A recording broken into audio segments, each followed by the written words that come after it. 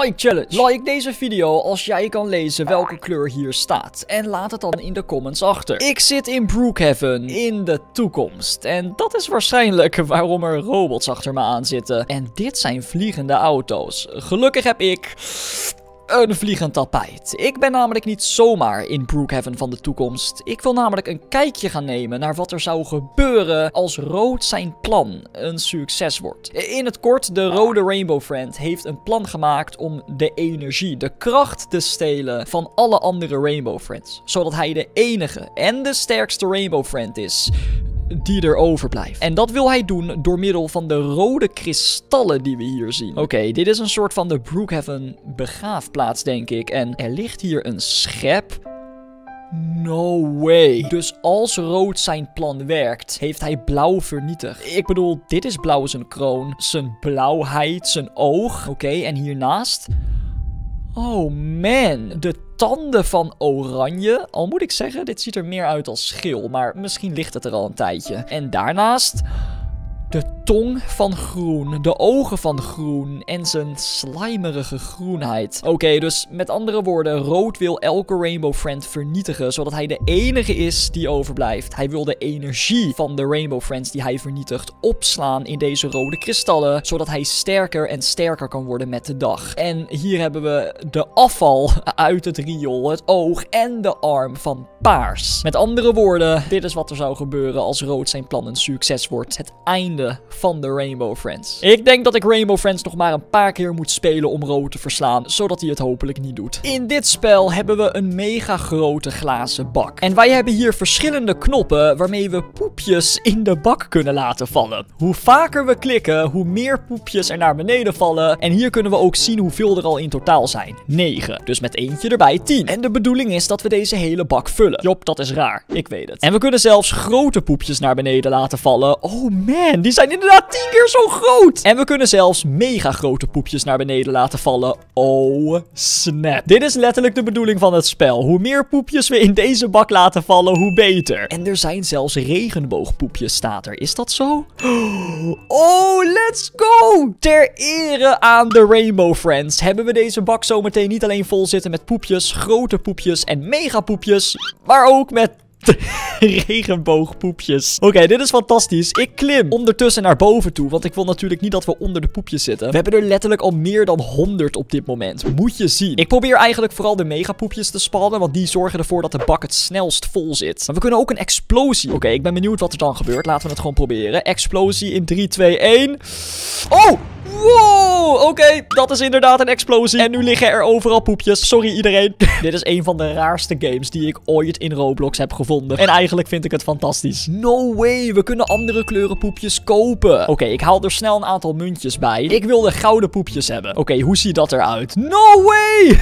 Moet je dit zien? Eigenlijk wil ik dat elke Rainbow Friend zijn kleur poepjes in deze bak heeft. Het klinkt nog steeds raar, maar we gaan ervoor. En nu is het tijd voor blauw. Oké, we gaan ervoor. Let's go! Blue zijn mega poepjes. Oh, dit is fantastisch. Oké, dus we hebben blauw en geel gehad. Dat is nice. Maar nu hebben we groen nodig. Oké, we gaan gelijk voor de grootste poepjes in het spel. Oké, dus we hebben geel, blauw en groen gehad. Gaan we rood zijn eigen poepje geven? Ik weet het niet. Ik bedoel, als we de toekomst van Brookhaven moeten geloven, heeft hij geen goede intenties. Maar ik heb me voorgenomen om letterlijk alle Rainbow Friends een eigen poepje te geven. Dus inderdaad, ook rood. Oh my gosh, het zit letterlijk helemaal vol. Weet je wat? We geven rood niet te veel. Dan moeten we paars natuurlijk nog doen. Oh my gosh, dit zijn de mooiste poepjes van allemaal. Stel voor je complimenteert iemand. Wat heb jij mooie poepjes. oh nee, ik zit vast. Ik zit letterlijk in een poepje vast. Nou, het is op zich niet heel erg. Want het ziet er naar uit dat ik wel gewoon door kan gaan met poepjes spannen. Oh nee, ik zit letterlijk in een poepje. Oh man, wil dat zeggen dat paars mij heeft opgegeten? Een soort van, denk ik. Roze natuurlijk. Kan ik het vanaf hier zien? Ja, ik zie de roze poepjes spannen. Kunnen we alle poepjes weghalen? Wow! Oké, we hebben alle poepjes weggehaald. Maar ondertussen zorg ik ervoor dat alle roze poepjes naar beneden vallen. Oké, we hebben roze gehad, geel gehad, groen gehad, paars gehad, blauw gehad, rood gehad. Wacht even, mijn favoriet. Oranje, let's go. Kijk eens aan. Ik durf er eigenlijk niet meer in te staan, want straks zit ik weer vast in een poepje. Hoe ga ik mijn oma dat uitleggen? Job, waarom was je er vandaag niet? Ja, sorry, ik zat vast in een poepje. Dat kan gebeuren, oma. Je moet het snappen, dat is het leven. Oké, dit is nice. En dan hebben we hier nog drie laatste poepjes en ik kan er één van kiezen. Laten we deze proberen. Oh my gosh. Oh, dit ziet eruit als duivenpoepjes. sorry. Er is inderdaad nog geen duif Rainbow Friend, maar als die er ooit komt... Het ziet er ook wel een beetje uit als slagroom. Alleen zou ik maar wel uitkijken dat je weet dat het geen slagroom is, want anders eet je het misschien en dan... Ah, maar hey, we gingen van de Rainbow Friends die er niet meer zijn, naar poepjes in een magazijn. Oké, Job. Het is tijd voor de volgende missie, waarbij we in een soort van toren zitten, waarbij we moeten proberen om boven te komen. En dat is een stukje makkelijker gezegd dan gedaan. Ze noemen dit de Tower of Fun, wat zou moeten betekenen dat het super leuk is om naar boven te klimmen, maar... Dat is het waarschijnlijk niet. Hè? Ze noemen deze toren natuurlijk expres de Tower of Fun. Zodat je denkt, hey, fun is leuk. Ik ga het spelen. Maar het is niet leuk. Het is wel leuk, I guess. Maar het is ook super vervelend. Want je gaat waarschijnlijk de hele tijd af. Ik weet niet of het werkt met checkpoints. Volgens mij dat wel. Dat betekent dus dat als je afgaat, dat het niet per se het einde van de wereld is. Maar het is natuurlijk alsnog wel super vervelend. Oh man, dit ziet eruit als McDonald's frietjes. Nu heb ik zin in McDonald's frietjes. Oh man, oh dit is zo creepy. Oké, weet je, dit zijn heel veel lasers. Voor mijn smaak net even iets te veel. Eigenlijk heb ik het liefst helemaal geen lasers. We hebben in totaal 8 minuten om dit te halen. En volgens mij zijn we wat dat betreft redelijk op dreef. Kan ik hier overheen? Oeh, ja dat kan. Dan moet ik hier denk ik naar boven toe. Hier naar boven toe. Oh man, dit is lastig. Er zijn dus ook echt maar 1% van de mensen die dit haalt. Dus het is niet makkelijk. Het is niet alsof je opstaat en denkt, ik heb nog niet ontbeten. Dat doe ik zo wel, want ik ga dit eerst even halen. Ga er maar vanuit dat dit niet zo makkelijk is. Je bent hier even mee bezig. Als het je überhaupt gaat lukken. Oh man, come on. Zoveel lasers. Spel, wees eens aardig tegen mij. Ik bedoel, dit is niet nodig nodig. Ik wou een, een, kopje thee met suiker. Geen kopje thee met lasers. Of eigenlijk heb ik helemaal geen thee. Dus. Oh man, deze obby is niet nice. Ik heb ook echt gewoon een privé server gehaald om dit in te spelen. Omdat ik me zo kan voorstellen dat als het al zo lastig is om iets te halen. En je hebt ook nog eens allemaal mensen om je heen. Dat is afleidend. Geloof me. Ik, ik kan dat alleen maar zo benoemen. Het is afleidend. Ik heb vaker hele moeilijke obby's gespeeld. In een server met tientallen mensen die dan om je heen krioelen als mieren. Het maakt het er gewoon niet makkelijker op. Ik weet dat dat eigenlijk wel hoort. Want in veel games, ja,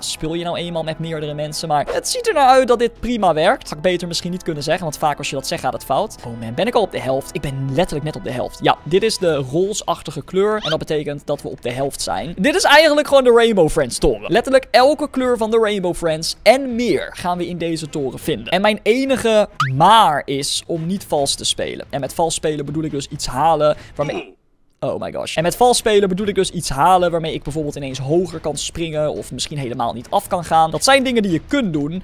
Maar ik wil dat niet. Nee, ik wil dit zo eerlijk mogelijk proberen te spelen. Oh, maar dit is wel echt het lastigste level van allemaal. Maar zelfs lastig is te doen. Misschien heeft Groen dit level gemaakt zonder te kijken. En is het daarom niet zo lastig? Ik weet het niet. Blauw, hebben we dat al gehad? Nee, blauw, daar komen we nu uit, denk ik. Oh, en ik wil dit niet meer. Ik wil gewoon boven zijn. Maar nogmaals, ik wil niet vals spelen. Ook al zijn er vast wel manieren om dat heel gemakkelijk te doen. Het is altijd leuker, vind ik dan, om een uh, oppie of een game gewoon op een eerlijke manier te halen. Oh my gosh, volgens mij zijn we er nu serieus bijna 3, 2... 1. Let's do this! We hebben het gehaald! Abonneer voor meer en adios.